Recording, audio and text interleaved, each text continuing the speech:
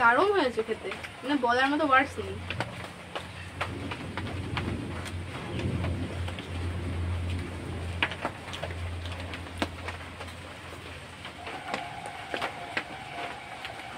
আমার তো ভাত প্রায় শেষ।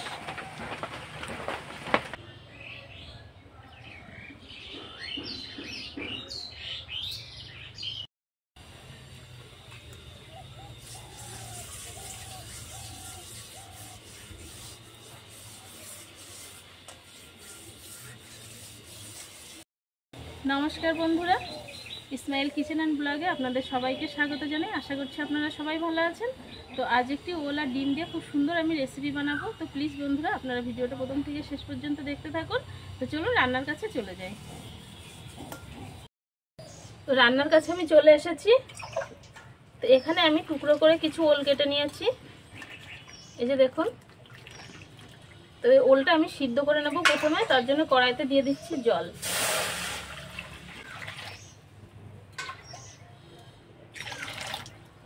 জলে দিয়ে দিচ্ছি, এক চিমটে হলুদ।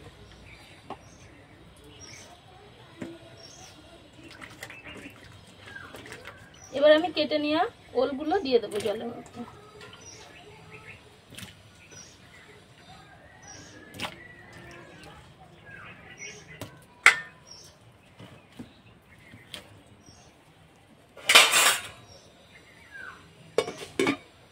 তো ঢাকা দিয়ে ওলটা আমি সিদ্ধ করে নেব। ওইদিকে ওলটা সিদ্ধ হচ্ছে।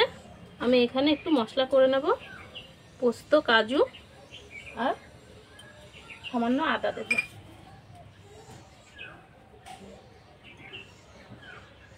এক ইঞ্চি পরিমাণ আদা। এটা আমি বেটে নেব।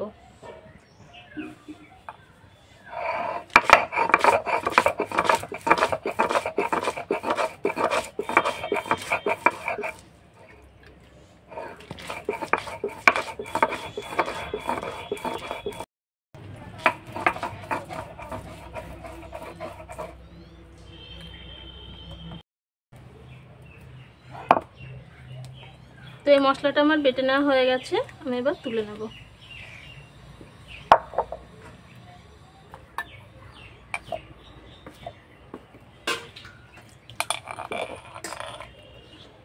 তো রান্নাটা কিন্তু একদম ইউনিক তো আপনারা দেখতে থাকুন ভিডিওটা। তো এবার আমি ঢাকাটা তুলবো। দেখব ওলটা সিদ্ধ হয়েছে কিনা। তো দেখুন, ওলটা সিদ্ধ হয়ে গেছে, আমি নামিয়ে নেব।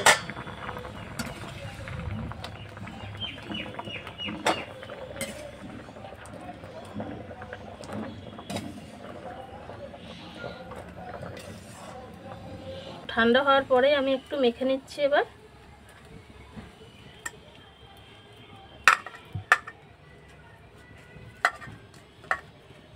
এইভাবে হাত দিয়ে আমি মেখে নেব ওলটা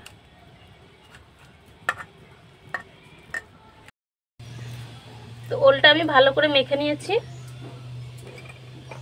এখানে নিয়েছি দুটো ডিম।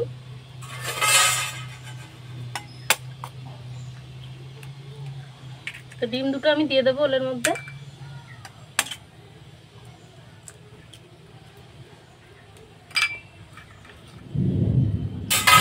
এদিকে তো আকাশে মেঘ করেছে মানে প্রচণ্ড গরম।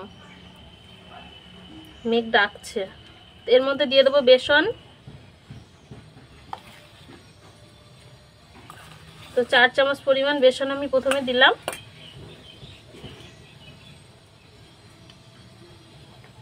লঙ্কা কুচি, পেঁয়াজ কুচি, এক চামচ পরিমাণ দেব জিরের গুঁড়ো।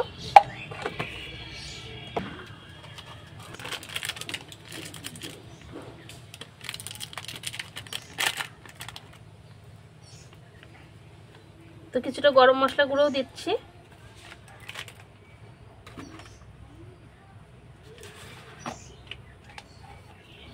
স্বাদ অনুযায়ী লবণ।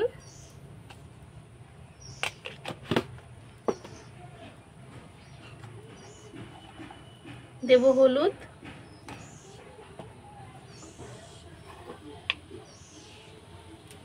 সামান্য পরিমাণ লঙ্কার গুঁড়ো।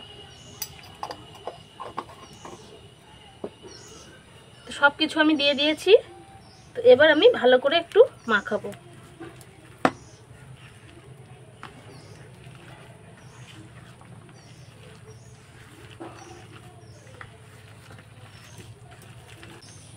তো বাদ বাকি যে বেসনটা ছিল দু চামচ পরিমাণ, সেটাও আমি দিয়ে দিচ্ছি।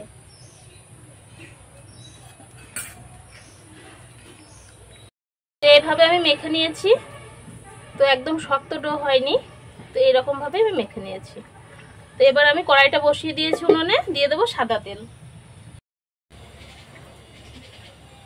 তো এইভাবে কোপ্তার আকারে আমি ভেজে নেব।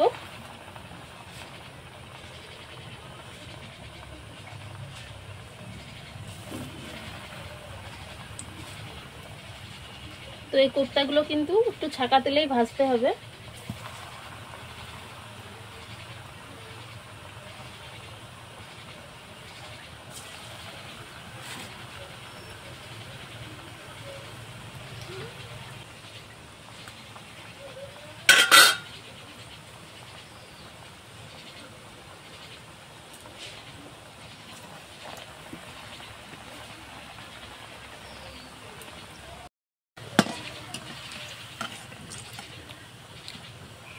এইভাবে লাল লাল করে আমি ভেজে নেব।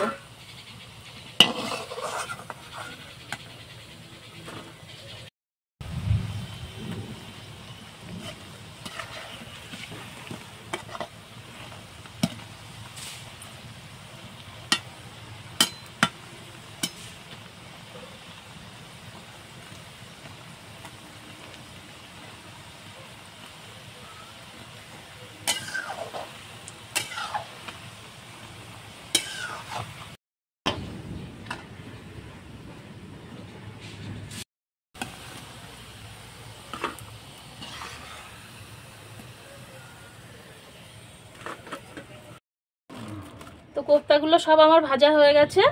এবার আমি কড়াইতে দেবো সরিষার তেল। প্রচণ্ড মেঘ ডাকছে, জানি না রান্না বান্না কতদূর শেষ করতে পারব কিনা। তো দিয়ে দিলাম সরিষার তেল।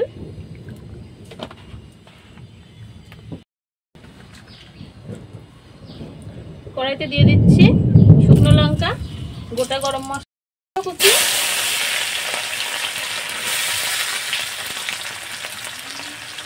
একটা চেরা কাঁচা লঙ্কা আমি দিয়ে দিচ্ছি। এখানে বেটে নেওয়া পোস্ত, কাজু আর আদা সেটা আমি দিয়ে দিলাম।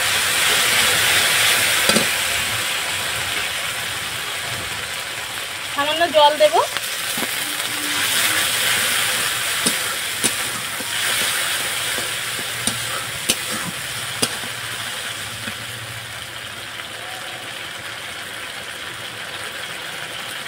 হলুদ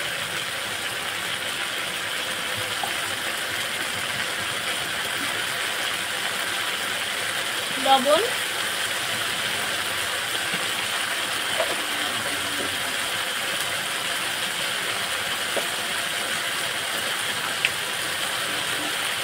এক চামচ লঙ্কার গুঁড়ো।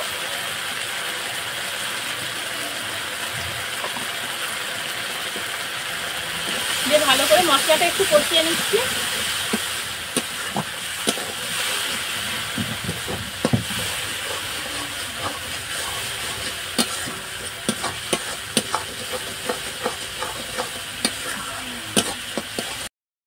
তো মশলাটা আমার কষানো হয়ে গেছে। এখানে আমি নিয়েছি নারকেলের দুধ।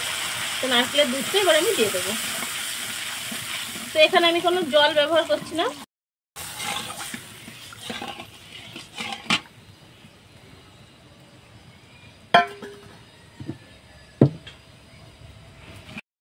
ঝোলটা ফুটে গেছে। এবার আমি কোপ্তাগুলো দিয়ে দেবো ঝোলের মধ্যে।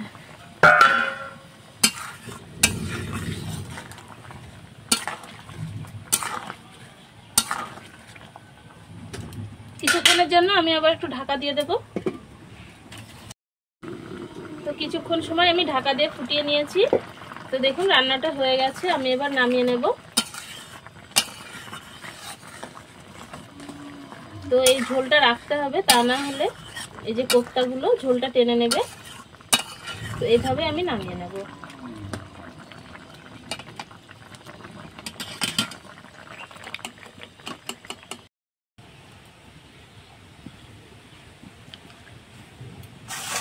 এবার আমি নামিয়ে নেব।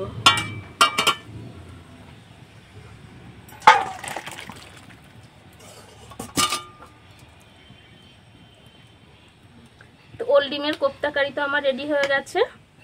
তো টুকুন টেস্ট করে বলবে যে কেমন হয়েছে।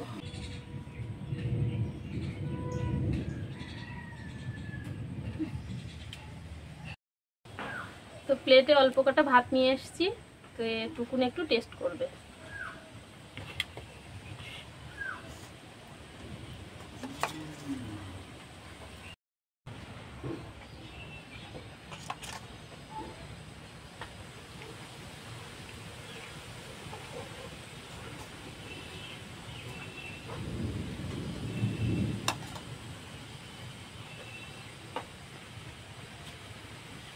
তো এদিকে আমাদের রান্না বান্না শেষ, বৃষ্টিও শুরু হবে কিছুক্ষণ পরেই। শুরু হয়ে গেছে বলতে গেলে। তো এটা একটু ঠান্ডা হোক, তারপরে আমি টেস্ট করা শুরু করব। যত তাড়াতাড়ি পারি সব কিছু শেষ করতে হবে। দেখেই ভালো লাগছে। দেখি চিকেনকে হারাতে পারে কিনা।